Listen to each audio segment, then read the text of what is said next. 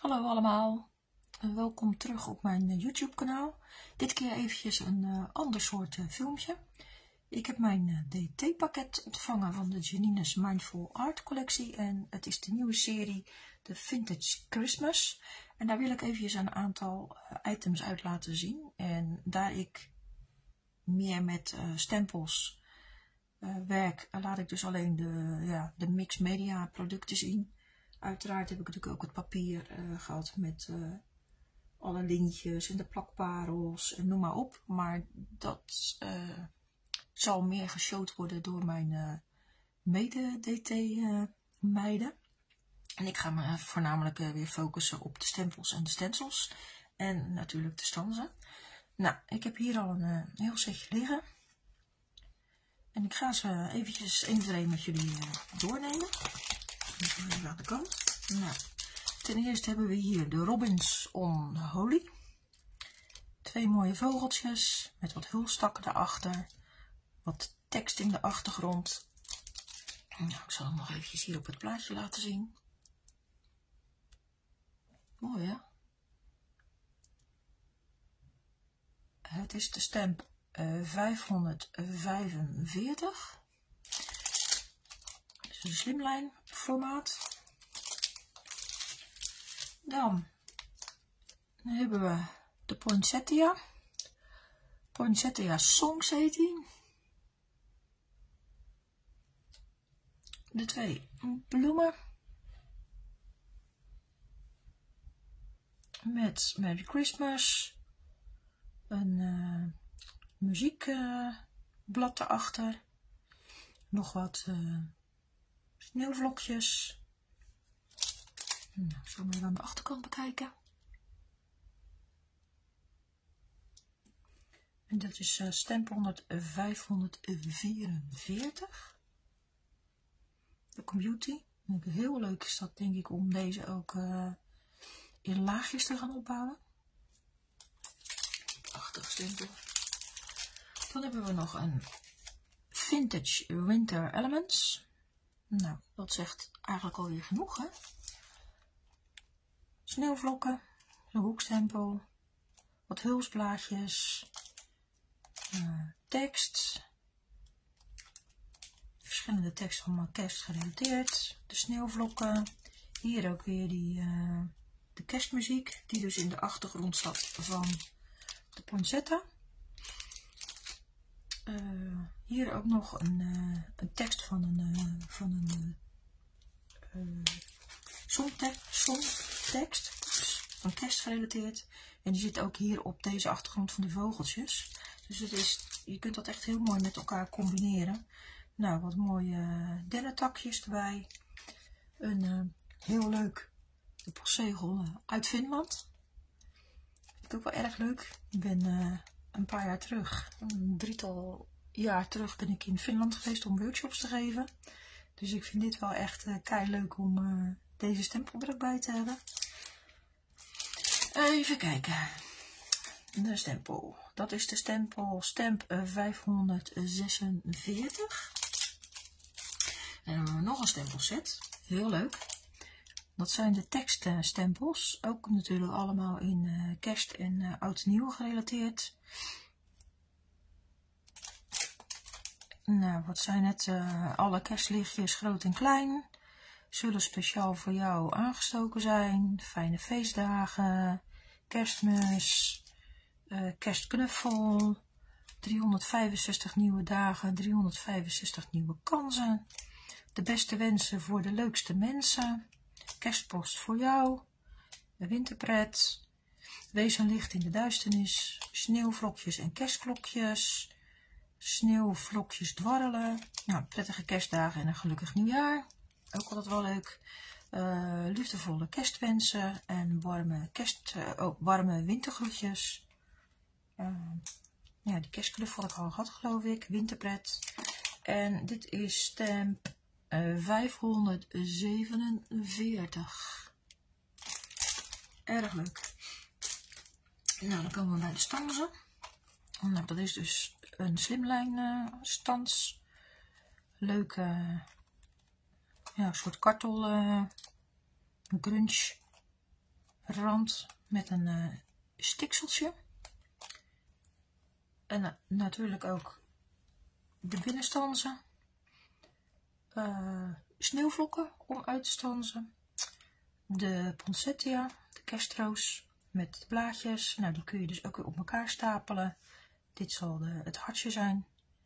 Uh, aan de andere kant van uh, de stans heb je dus ook weer de sneeuwvlokken die je kunt uitstansen. En ik zal hem nog even zo laten zien. Nou, hier zie je dus ook dat je dus die poinsettia kan opbouwen. Nou, dat is hartstikke leuk. Kun je doen met het designpapier. Maar je kunt natuurlijk ook gewoon zelf je eigen papier kleuren. En je eigen poinsettia van kleur voorzien. De kleuren die jij zelf wil. Uh, de sets, dat is de CD 719.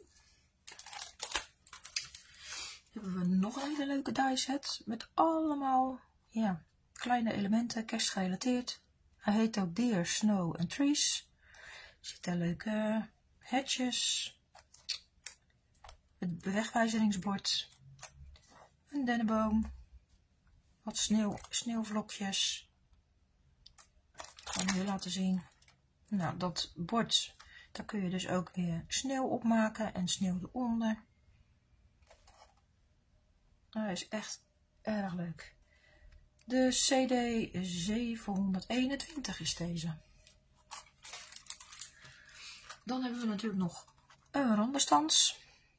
Verschillende randen, ook weer kerstgerelateerd uiteraard.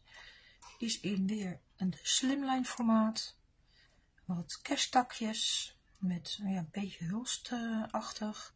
Een sterretjes, stans, borderlijn. Hier weer een stitchlijn. Sneeuwvlokken voor een mooie kantenborden. Wat takjes en de hulsblaadjes. Hier kunnen we waarschijnlijk ook weer wat beter zien hoe die dan uitstanst. En dat is de CD 720. En dan hebben we nog stencils.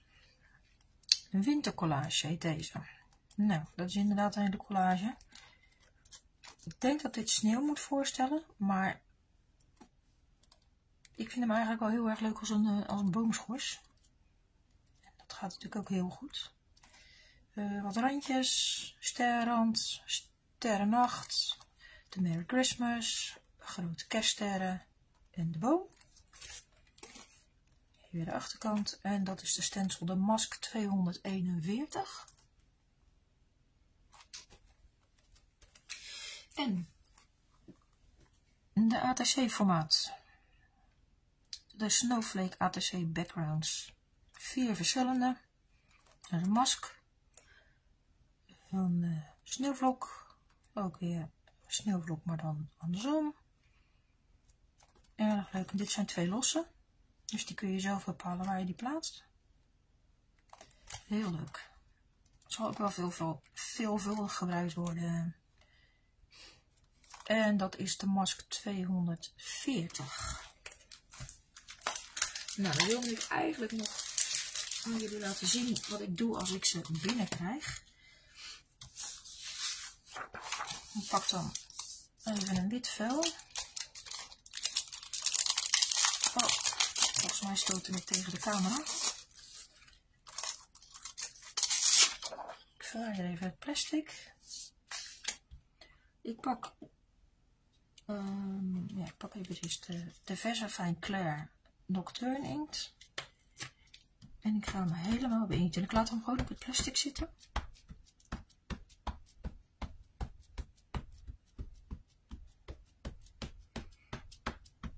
Even goed.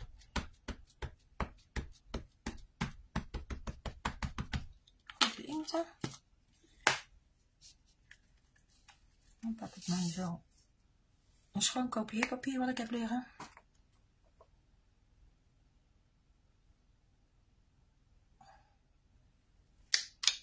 En dan druk ik hem eventjes af.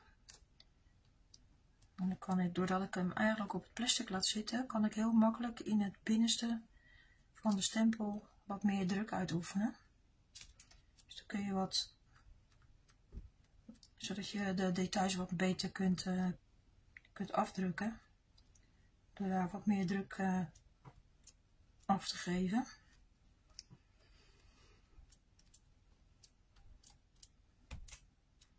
En door hem eventjes vast te houden, kun je hem toch oplichten en kun je kijken wat hij heeft gedaan. Voorzichtig weer terug op dezelfde plek. Dat kunnen we hier ook doen. Even spieken.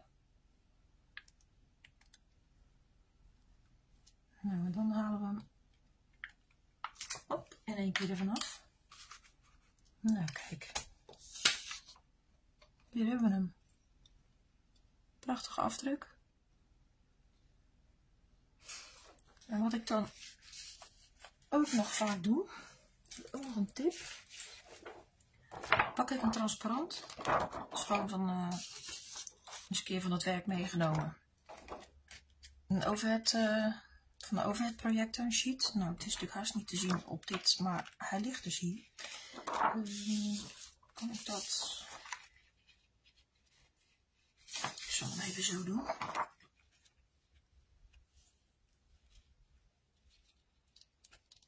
Dan moet ik even slim zijn. Ik hem even schoonmaken.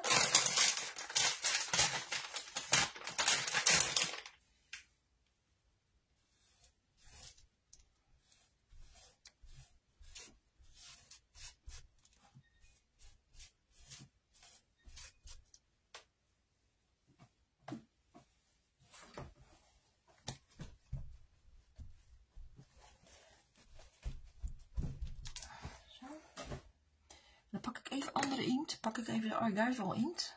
Dat is permanente inkt. Die zal waarschijnlijk wel een iets mindere afdruk geven. Maar we gaan hem even weer goed beinkten.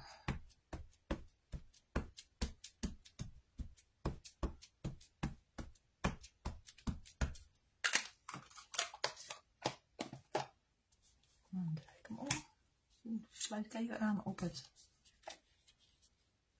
papier, zodat ik weet waar mijn sheetje ligt.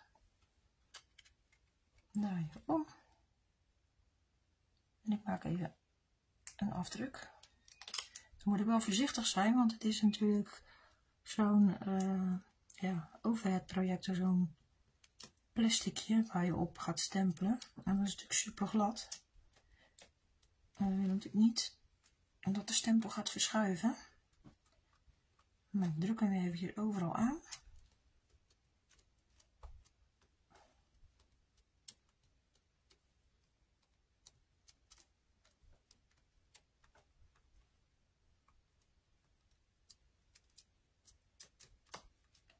Nou, dan moet ik hem, ik zal denk ik, ja, ga kijken, uh, hoeveel ligt toch?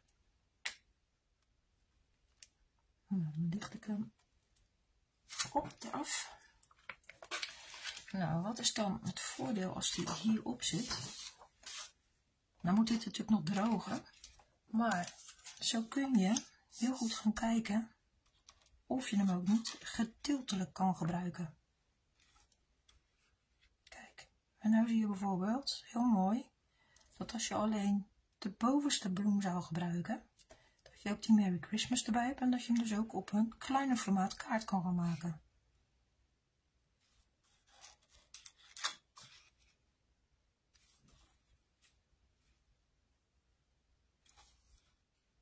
Dat is eigenlijk heel handig. Dit moet dan wel heel goed drogen. Ik kan het afsnijden en dan kan ik het bij de stempel eh, bewaren. Uiteraard zit dat natuurlijk ook, die afdruk zit natuurlijk ook op je, op je stempelsheet. Maar ik vind dit altijd ook wel handig om het er extra bij te hebben. Nou, dat was dus een tip. Uh, die maak ik niet schoon. Die laat ik gewoon de inkt erop zitten. Dat is handiger ook straks voor een, uh, een volgende afdruk. Als je weer gaat bestempelen. Is die al lekker beïnkt. Dan zit er al een laagje op. Nou, ik zal ze nog eventjes in beeld brengen. De stencils. de stanzen, de teksttempo, de achtergrondstempels, de leuke vogelset en de poncetta. Nou, ik denk dat ik me wel ga vermaken. Jullie gaan binnenkort uh, de resultaten hiermee zien. Bedankt voor het kijken en tot een volgende keer. Doeg doeg!